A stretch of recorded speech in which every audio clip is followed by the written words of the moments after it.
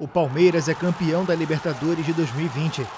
Na edição interrompida pela pandemia, o clube paulista se sagrou campeão depois de vencer o clássico contra o Santos na final, disputada no Maracanã.